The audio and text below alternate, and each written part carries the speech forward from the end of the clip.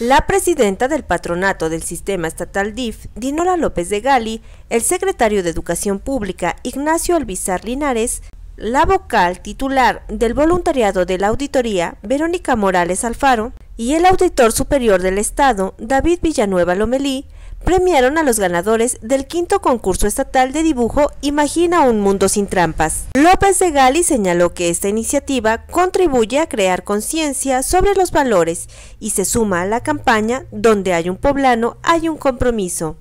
Luego de felicitar a los 22 ganadores de este certamen, López de Gali invitó a los estudiantes a continuar promoviendo los valores en su hogar, en la escuela y en cualquier ámbito donde se desenvuelvan. Durante su intervención, el secretario Ignacio Albizar Linares mencionó que este concurso también representa una oportunidad para inculcar en las niñas y los niños otros valores como la responsabilidad, la colaboración en casa y el cuidado al medio ambiente. Verónica Morales Alfaro, vocal titular del voluntariado Auditoría Puebla, destacó que la promoción de los valores y las actividades dirigidas a la niñez y juventud poblanas son fundamentales en las acciones que realiza este grupo de trabajo. Informó para desde Puebla Grace Martínez.